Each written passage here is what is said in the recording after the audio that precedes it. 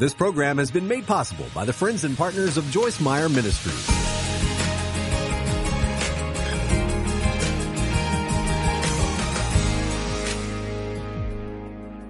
I don't think that Jesus saved us just so we could be miserable until the sweet day when we go home to heaven. I think that eternal life starts the moment that we receive Christ and that we, I think it, I think it hurts God when we don't enjoy the life that Jesus died to give us. And we are so work accomplishment oriented in our Western society that I think sometimes we forget after God worked for six days creating everything, he rested. And so Adam's first full day on the earth was a day of rest. And we just, we, we get it upside down. We glorify work over everything else. And of course we should work and not be lazy, but God wants you to enjoy your life. He wants you to enjoy yourself. He wants you to enjoy your family, your kids. Don't just raise your kids, enjoy your kids. Don't just be married to somebody, enjoy them. The Bible says that a, a wife should enjoy her husband. Amen. Thank you. And um, and you need you need to enjoy yourself. You have a home, take time to enjoy it. Don't just gripe because you got to clean it all the time. Enjoy it.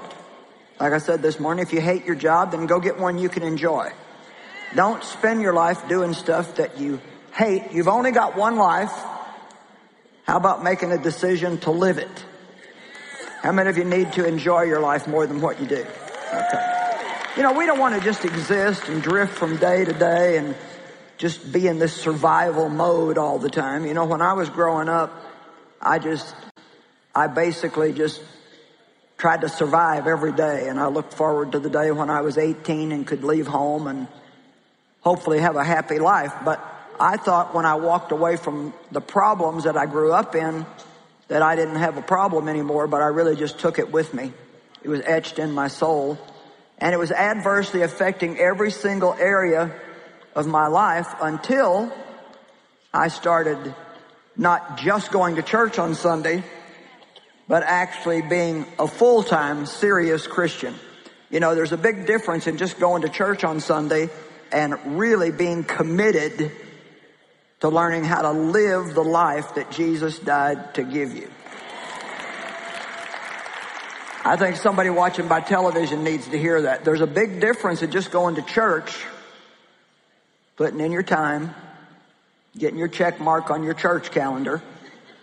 There's a difference in that and really being serious about your walk with God and being committed to really learning how to be Christ-like and to live the life that Jesus really died to give you.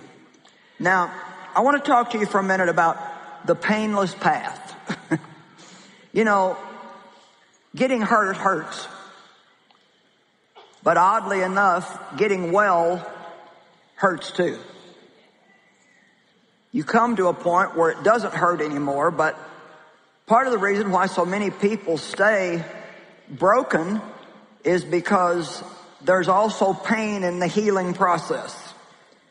You know, you can injure yourself and the injury hurts, but while you're in the healing process, it still hurts, doesn't it?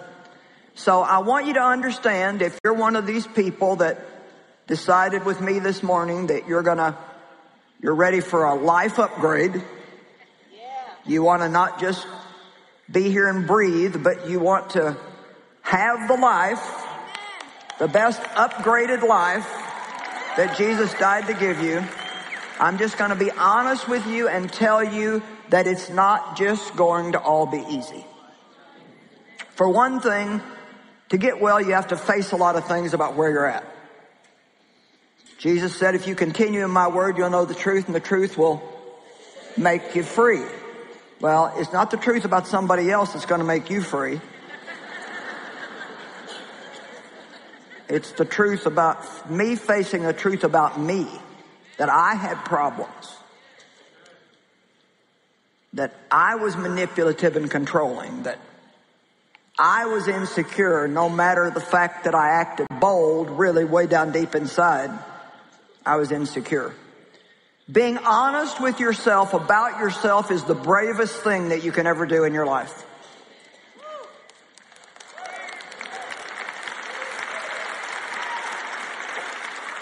You see, God knows you and He loves you anyway. And you need to learn how to know you and love you anyway. I don't like everything I do, but I do like myself. I actually think that we are insulting God if we hate ourselves and refuse to have a good relationship with ourselves because we're not the epitome of the perfection that we think that we should be. Jesus didn't die for perfect people. He died for people that are imperfect and will continue to have some imperfections till he comes back to get us. The Bible says he didn't come for those that were well, but he came for those that were sick. Amen. And so I qualify for help from God. And you do too. But in the natural, it's just the way we are. Our flesh is always going to look for a painless path. And so that's why I want to just be clear with you that if you really want to get well, it, there's going to be some challenges to it. And it's not going to happen super quick. It happens little by little. God changes you from glory to glory. But the good news is, is if you're on your way to full recovery, at least you're on your way somewhere. Did you hear me? And that's better than just being stuck nowhere. There's two kinds of pain we can talk about today. The pain of change or the pain of never changing. And you know what? The thought of staying the same is really scary to me. I mean, it just makes me shiver to think that I could still be the way that I used to be 42 years ago. Uh, there's been a lot of pain getting from there to here. Oh, but there's been more joy than pain. And I certainly am glad that God gave me the grace to not give up. And you have to keep in mind that every little bit of progress you get, you can then share that progress with somebody else. People need to see people overcome. They need the courage to realize, well, if you can do it, then maybe I can do it.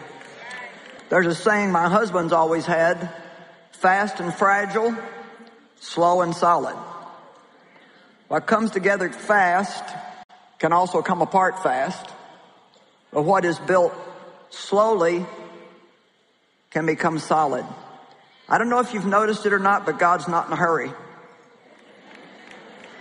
Has anybody realized that? God's not in a hurry. You know why? Because He's more interested in quality than quantity. Amen. Don't get stuck in the trap of just trying to see how much of your Bible you can read every day so you can feel proud of yourself. God would rather that you stare at two verses for an hour and get something out of it than to read seven chapters and not know what you read when you got done. Of all the people we need to stop trying to impress, it's God. Did you hear me? Because He knows us. So quality over quantity. Don't be in such a hurry. We need to wise up that just stop looking for everything to be easy. We need to toughen up a little bit and be willing to go through whatever we need to go through to have what we say that we want to have. You know, a lot of people are jealous of successful people or they're jealous of people that, I don't know, stay in shape and, you know, still look good in their 40s or 50s or whatever and or you're, you're jealous of somebody's home or jealous of somebody's job or maybe you you're old enough to retire and you don't have hardly anything and you're jealous of people that you know that have got this nice income level now at retirement. We need to stop being jealous of people that are blessed if we don't want to do what they did to get what they've got. Come on. Moment of truth. I want to make sure you understand this because I don't want to be telling you things that aren't true.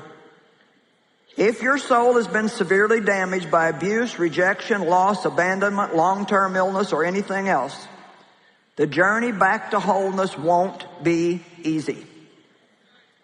It's not just going to be, boy, I went to that conference and listened to two sessions on healing the soul and I'm all put together now and everything is fine.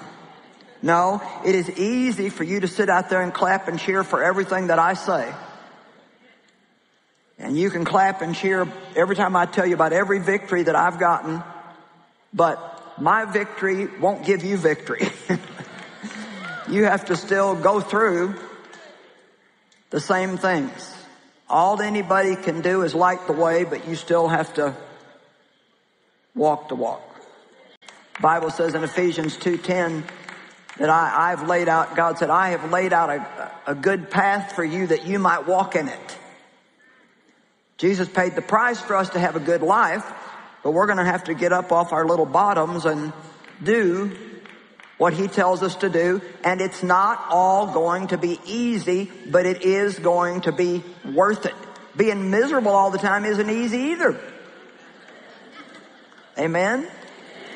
I mean, is anybody tired of putting all your energy into being miserable and being mad and you just as soon now turn that energy around to doing something that's going somewhere? Amen? All right. Narrow path, broad path, Matthew 7, 13. Enter through the narrow gate, for wide is the gate and broad and easy to travel.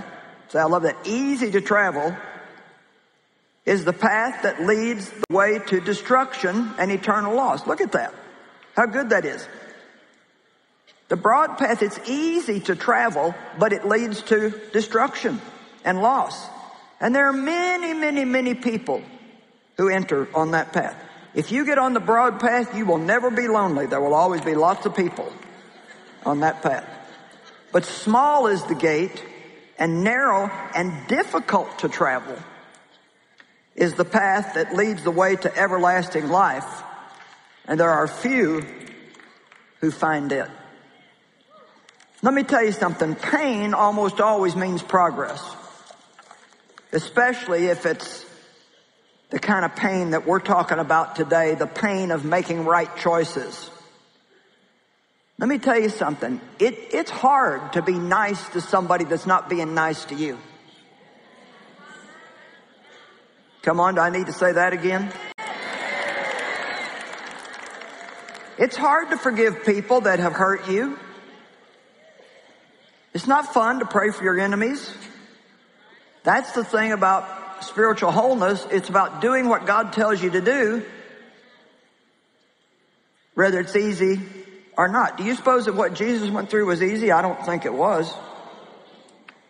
In the Garden of Gethsemane, he was under such pressure, he sweated blood. So we could have the opportunity to sit here today and hear what we're hearing. I'm here to tell you that no matter what's happened to you, there's hope for your future. There's not much good news out in the world, but there's good news in here today. Today I have good news. Your sins have already been paid for. Matter of fact, here's the fun thing. God has already done through Jesus everything that he ever needs to do for us. It's already been done. We're not waiting for him to do it. It's already been done and he's waiting for us to believe it. There's nothing that can keep you from having a great life if you're determined to take the narrow path and do what you need to do to have it but it's not all going to be easy. I don't think that God's anointed us for easy. I think we have the anointing and the power of the Holy Spirit in our, in our life for hard things, for difficult things. Somebody without God can't have trials and tribulations and stay happy, but we can. Come on, I said we can. because we've got somebody on our side. Galatians 6 9 says, says, Let us not grow weary or become discouraged in doing good.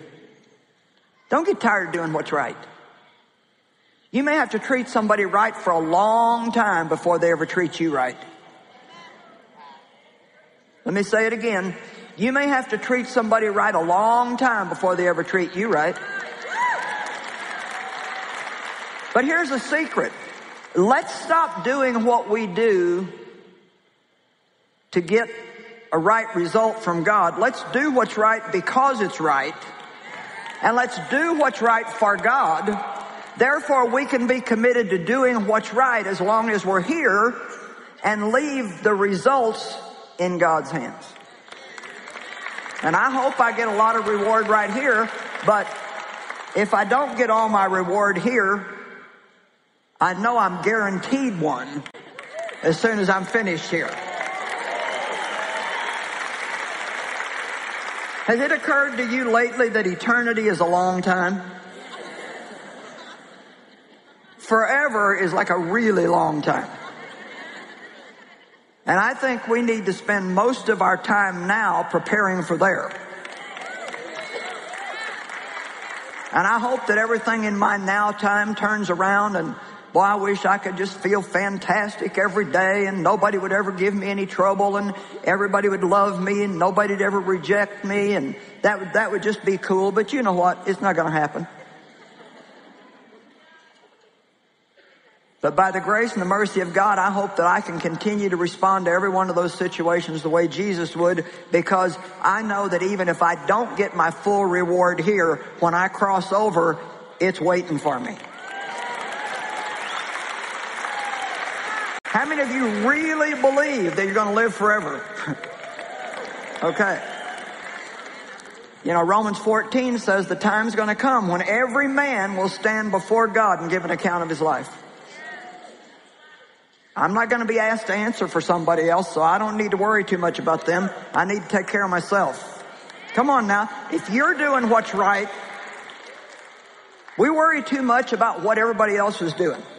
Well, you should be doing this, and you should be doing that, and you should be doing this, and you shouldn't be doing that. Well, let's, let's get concerned about us. I want to make sure I'm doing what's right.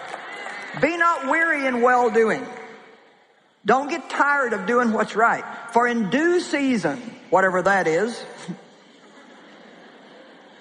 we get so encouraged about that. We don't know when that is. At the appointed time. what does that mean?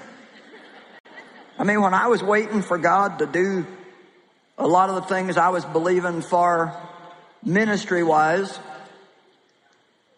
it was back in the days where there was a pretty big outpouring of the Holy Spirit, and there were a lot of people that came through the church and they prophesied to different people. And I couldn't even begin to tell you how many times somebody pointed me out of an audience and said, the Lord says unto you, be not weary in well doing, for in due season you shall reap if you faint not. The first few times it excited me, then I got tired of hearing it.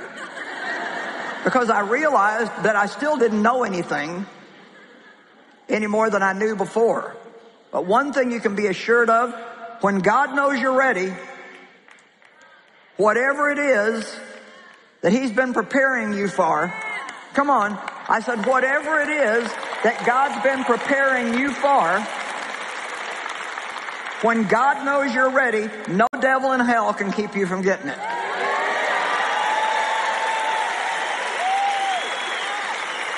So why don't you just settle down and enjoy the journey? Because there's not anything that any one of us is going to do that's going to make God hurry. When we're doing what's right and it hurts, that means that we're making spiritual progress. Think about that. Spiritual maturity requires obeying God when it's difficult to do so. I like some of these statements. I wrote them, but I still like them. Boy, you know, we get, we get so excited when we hear the word free. Man, I tell you, free conference, free books, free. I, you know what? Ooh, We just love free. I mean, we just think we're really getting by with something when we get something free. Free. But you know what? What's free to you, somebody paid for. Come on. Salvation's a free gift, but Jesus paid for it. It cost him. This conference was free to you, but our partners around the world paid for you to come and just sit here and enjoy yourself this weekend. And we do that because we want you to come and hear the truth because we know the truth will make you free. And we believe then that you'll be transformed into somebody who wants to give to the kingdom of God to make good things happen for somebody else. But don't fool yourself. There's really nothing that's free. If you've gained a bunch of weight and you need to lose it, you're going to have to be hungry.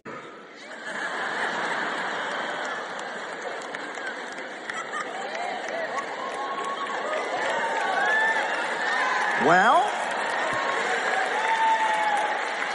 and don't waste your money buying the fat melting pill off TV. Because there is no such thing as doing nothing and getting a right result. Come on, that's just not going to work. If you got yourself deep in debt, now you're going to have to really scrimp and maybe do some extra work and do without some stuff for a good period of time. Don't think you can just go have somebody lay hands on you and pray for you that all your debt's going to disappear. Come on, let's act like we've got a little bit of brains anyway. The painless path is not the best one to look for. Because even if you found it, you wouldn't find that it will take you where you want to go. We like quick fixes, don't we? Our prayer is often, Lord, make me patient and please do it in a quick, in a hurry. I think this is good. You know, a mushroom can grow overnight. Has anybody ever one day your yard looks fine and the next day you got a bunch of mushrooms in it? But a large oak or a giant sequoia takes a long time. Let me ask you a question. Do you want to be a mushroom or a giant tree of righteousness? We got a lot of mushroom Christians. Come on. There's no scripture in the Bible that compares us to a mushroom. But Jeremiah 17, 8 says, For he will be nourished like a tree planted by the waters that spreads out its roots by the river, and it will not fear the heat when it comes. But its leaves will be green and moist, and it will not be anxious or concerned in a whole year of drought, nor will it stop bearing fruit. Now come on, that's what God wants. For years I lived with a wounded soul due to sexual abuse. But I learned that God could heal my deepest hurts. And I'm really asking you not to spend another year of your life in the same kind of misery that maybe you've been in in the past. And in my book called Healing the Soul of a Woman, you too can discover how to allow God into those wounded places in your life. Call 1 800 727 9673 or go to joycemeyer.org.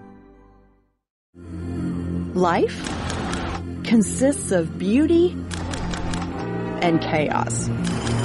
Life is messy, but you don't have to be.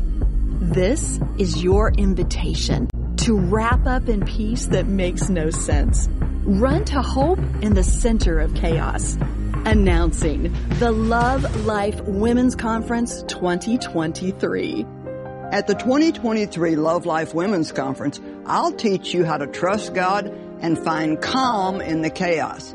Don't just survive when you can be blessed in the midst of this beautiful mess featuring Joyce and her guests, Bishop T.D. Jakes, Lisa Bevere, Natalie Grant, and Danny Gokey. October 19th through the 21st in San Antonio, Texas. Register today at joycemeyer.org. In our world today, there's an epidemic of anxiety. There's so much coming against us, and for many, It's causing not just worry, but an overwhelming and frightening state of panic. There are keys to dealing with this, and I want to help you use God's Word to fight and win the battle for inner peace. My book, The Answer to Anxiety, will help you through the process of eliminating tormenting thoughts and replacing them with the peace that passes all understanding. Joyce Meyer's The Answer to Anxiety, available wherever books are sold.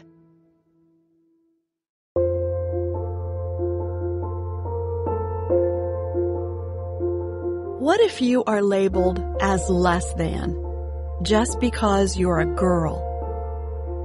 And you're told this is God's intent for you and every other female. It's very hard in our culture to be a girl. To tell you all the time that you are nothing, you God created you just because He wanted to help the man in his life. That's very hard because all the time you grow up without hope. Sally asked to hide her identity because she hopes that her family will one day come to Christ. Until then, out of respect for them, it is best for her to remain anonymous. If her community knew how she felt, her family would be shamed. If you're thinking you you should like you want to do something in the future, you you you want to go outside, you want to study something, you feel all the time you should back and be housewife and do uh, something for children, for the house, for the culture, not to be like yourself and what you want really to be. As you can imagine, this deeply impacted Sally's relationship with a God who she understood to have no use for her. When I pray, I was feel empty. I feel that I love him, but he don't love me because I'm the girl. Then I start to read the Bible and learn about Jesus and follow Jesus. And I start hear the Joyce Meyer. And all the time when I see her, I see wow how much God love her and use her. So I start thinking, okay, maybe I can do something also. And then I just fall in love. I, I feel like I was really empty and then in just moment I fall in love and I, I for the first time I feel God. So how important do you believe that it is then what we're doing with Project Girl? It's very important. You give the girl hope.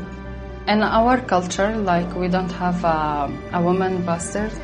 When you see her give the message and many men hear what she preach, so it's give you the hope. Like, okay, maybe someday in our culture, in our land, we will see this.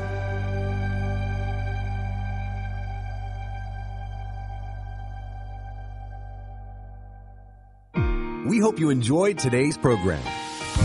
For more information, visit joycemeyer.org. This program has been made possible by the friends and partners of Joyce Meyer Ministries.